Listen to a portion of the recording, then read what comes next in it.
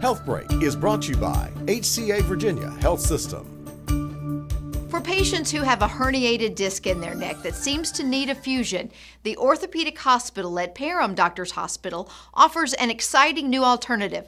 Dr. Matthew Mayr describes the artificial cervical disc. This uh, is a stainless steel two piece device that fits into the disc space and has a cup and a socket that allows the uh, disc to retain motion. The orthopedic hospital offers a comprehensive spine surgery program, and Dr. Mayr is one of the few physicians in Richmond performing this procedure. Patients typically stay overnight in the hospital and then they uh, go about their way. This, we think, decreases pain on the long term. For more information or a physician referral, call 804 320 DOCS.